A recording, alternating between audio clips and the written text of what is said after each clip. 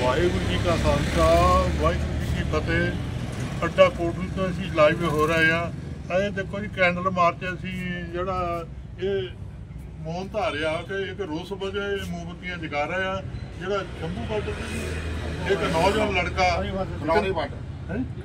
Khanauri border sorry Khanauri border ਤੇ ਇੱਕ ਕਿਸਾਨ ਨੌਜਵਾਨ ਲੜਕਾ 23 24 ਸਾਲ ਦਾ ਮਾਰਿਆ ਗਿਆ।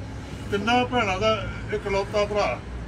ਇਹ ਜਿਹੜੀ ਬੀਜੇਪੀ ਦੀ ਘਨੌਣੀ ਚਾਲ ਵਾ ਕਿ ਕਿਸਾਨਾਂ ਦੇ ਅਤਿਆਚਾਰ ਕਰ ਰਹੇ ਆ ਕਿ ਇਹ ਅਜੇ ਪੂਰੀ ਗਿਣਤੀ ਦਾ ਨਹੀਂ ਪਤਾ ਲੱਗ ਸਕਿਆ ਕਿ ਕਿੰਨੇ ਕਿੰਨੀ ਮਾਰ ਦਿੱਤੇ ਆ, ਫੱਟੜ ਕਿੰਨੇ ਕੁ ਹੋ ਗਏ ਆ, ਉੱਥੇ ਕਿਸਾਨਾਂ 'ਤੇ ਬਹੁਤ ਤਸ਼ੱਦਦ ਕੀਤਾ ਜਾ ਰਿਹਾ ਵਾ।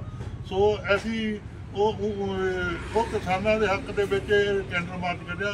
ਬਾਕੀ ਮੈਂ ਤੁਹਾਨੂੰ ਕੋਟ ਅੱਡੇ ਦੀ ਸੰਗਤ ਖੜੀ ਆ ਸਾਰੇ ਮੋਹਤਰ ਸੱਜਣ ਸਾਡੇ ਆਓ ਮੈਂ ਤੁਹਾਨੂੰ ਦਿਖਾਣਾ। ਵਾਹਿਗੁਰੂ ਜੀ ਕਾ ਖਾਲਸਾ ਵਾਹਿਗੁਰੂ ਵਾਹਿਗੁਰੂ ਜੀ ਕੀ ਫਤਿਹ।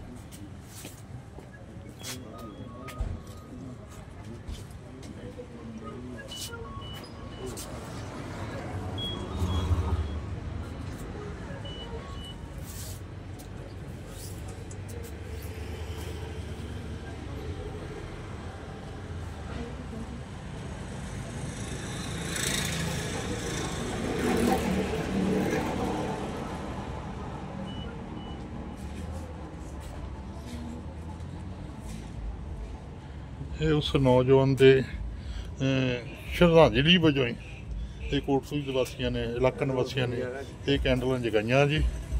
ਗੁਰੂ ਮਹਾਰਾਜ ਦੀ ਆਤਮਾ ਨੂੰ ਸ਼ਾਂਤੀ ਬਖਸ਼ੇ ਕਿ ਇਹਨਾਂ ਬੀਜੇਪੀ ਦੇ ਕੱਟੜ ਸਮਰਥਕ ਜਿਹੜੇ ਆ, ਇਹਨਾਂ ਵੀ ਸਮਰਥ ਬਖਸ਼ੇ ਕਿ ਜਿਹੜਾ ਆਂਦਾ ਤਾਂ ਸਾਡੇ ਦੇਸ਼ ਦਾ, ਉਹਨਾਂ ਤੇ ਇੰਨਾ ਤਸ਼ੱਦਦ ਨਾ ਢਾਵੇ ਜੀ। ਵਾਹਿਗੁਰੂ ਜੀ ਕਾ ਖਾਲਸਾ, ਵਾਹਿਗੁਰੂ ਜੀ ਕੀ ਫਤਿਹ।